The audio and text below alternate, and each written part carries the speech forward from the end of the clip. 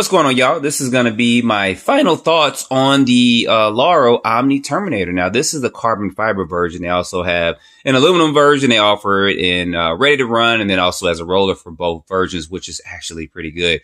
But I'm going to say right off the bat, for the price you pay for this, you cannot beat this. For 249 this is at a pre-sale price and they kind of go up and then I think they actually go back down in price and stuff. You can't beat it. I think as far as trucks that are, uh, 11 scale, which is kind of what this is on up. You can't beat it for the price. You get a brushless truck and it's actually pretty strong and pretty durable. Now, there's one thing that Rlaarlo, I'm going to go ahead and talk about the elephant in the room. A lot of you guys have seen your comments on this is not something picking on them or anything is some of their customer support as far as getting back to people and then also shipping orders out. I think that what they do is when they get these vehicles in, a lot of influencers get it, we test it, and then they see some of the weaknesses that may be in some of the vehicles and they ship them out.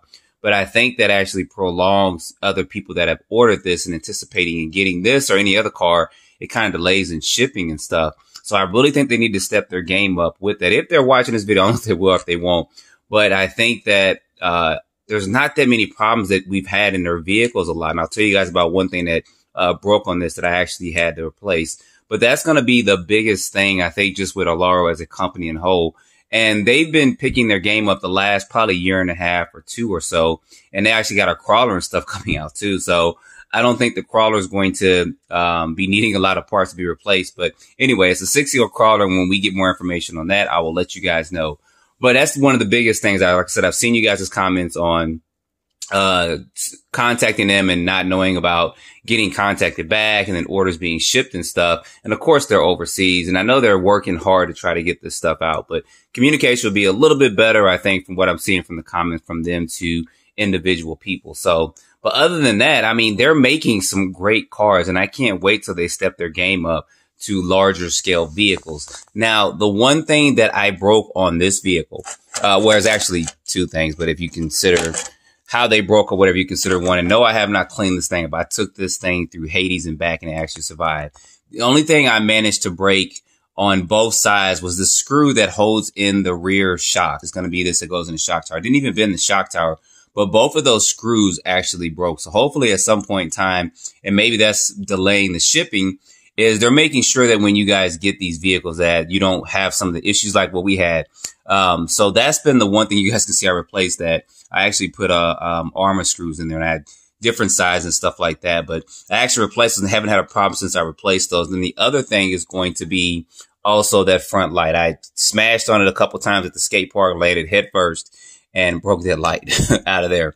Um, but other than that, this thing has been good. It's been, like I said, the toughest. It's even tougher than some of my 10 scale and 8 scale because I was surprised at kind of what I took this through and it actually survived. I mean, that was a plus for me right there that it actually took a lot of the beating and it survived and nothing broke on it at all. Except for, of course, what I said with those screws and then that light coming out the front of which I don't even know where that's at. So I do recommend if you get this, if you're going to do some heavy bashing, either go ahead and unscrew that light and put some glue or something up in there or something to secure that so that you won't lose it like I did. Um, you guys can see the wires still hanging down there, but the light is completely gone. Uh, for us, so I do recommend you actually do something to secure that better, or just take it off if you're going to bash and stuff with it.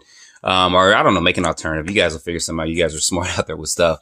Now I did go ahead and do the adjustment to where I used a regular size lipo in here and you do have to kind of secure the speed controller, which I did here, some zip ties and stuff on there and double sided tape. With that, it is kind of a tight fit, but to still be able to fit a full two or three S standard size lipo in here in this small vehicle actually did wonders for the car. I mean, speed wise out the box, I think I was doing, uh, 35, 36. And then when I stepped up to a larger lipo, I gained a couple more miles hour, even though it was a lot heavier but it had more voltage output and stuff, and it just had a larger capacity, and it stepped the game up to about 40 miles per hour on 3S. And I think that that's actually fine. And when you do some gear changes and stuff, I think you get to about 43 to about 48.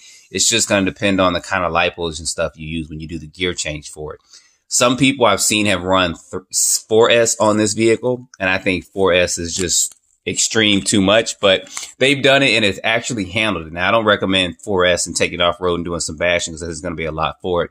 I think 3S is going to be plenty, at least in my opinion, for a vehicle this small. Um, no other issues, guys. I mean, the chassis or anything you guys see that hasn't bent and I actually landed several times on the front of this vehicle thinking something was going to break. And this was on concrete at the skate park and nothing happened. I believe this was the only in the first vehicle I was actually able to do a triple backflip. Um, at the skate park. I do have to look at a couple of things, uh, making sure that the bearings and stuff are fine. You guys see this is a little loose here. So maybe one of the bearings might have broken stuff through there, but I was trying to take it through its paces just to make sure that this vehicle would not break and nothing, like I said, nothing broke. And I was really impressed with that. No A-arms broke. You guys see it's got threaded aluminum shocks on this carbon fiber, carbon fiber version. Uh, everything has been fine with this. I don't have any complaints at all, uh, with it. I do have maybe one or two gripes and that's going to be, uh, just small little things that we like to see, like some of the adjustments and stuff on the radio. I think we'd like to see more, uh, trims and stuff like on the side. Of, we're just used to certain things with it. But once you get used to the functionality of this radio stuff, because it is a six channel radio, it's actually good. And it does have like a gyro stuff built into it. If I can recall, I never had to use it because this car handled fine and I didn't need to use any of that. So this is something kind of new that they're doing with these vehicles and it's been fine for it. I think that someone who is just getting into the hobby is going to look at this and like, oh my gosh, it's overwhelming, but it's not difficult once you actually go into it and figure out all the stuff in the menu and stuff for it. But it does have some of your basic trims and stuff you can see right there as far as throttle trim and stuff is concerned, which is actually good with that. So other than that, I don't have any complaints, guys. I'm telling you, this has been a good vehicle. Uh, one of the best small scale vehicles I think I've ever ran and ever tested, especially at the price point of 249. You know, regardless of whatever, I think that if someone was looking at a small vehicle, when these become available, this would be your best bet. I mean, the only other thing I think you would think about is different bodies for it.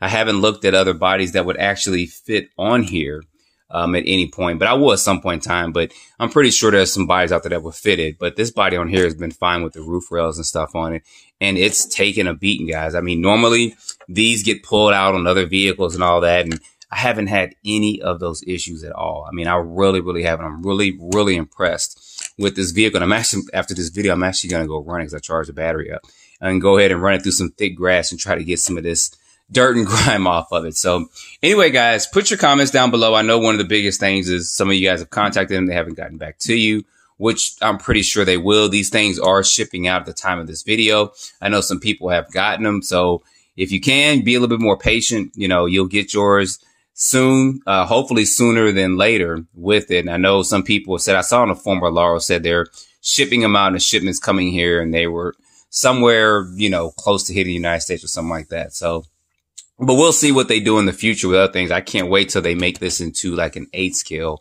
vehicle. If they do this as an eight scale and make it just as strong, they're going to shut the market down. And if they do their 787 as a, uh, maybe a seven scale car or something, it's going to be great if they do that. So hopefully these are test pilots for larger vehicles they'll do in the future. So anyway, guys, I'm um, quit my yapping. I'm going to, oh, one other thing too. Tires too. I didn't talk about tires.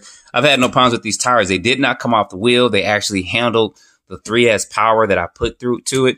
Uh, and they were soft enough to where you get enough traction and stuff, but they weren't too soft where they ballooned and they give you plenty of grip. And you guys see, I've been running this thing everywhere. And like I said, tires and stuff have held up. So good job with this Solara. I'm pretty sure everything else with them will step up in the next coming months, even less than a year or so. So anyway, guys, don't forget to like, subscribe, put your comments down below. Stay tuned for the next video. Appreciate you guys watching.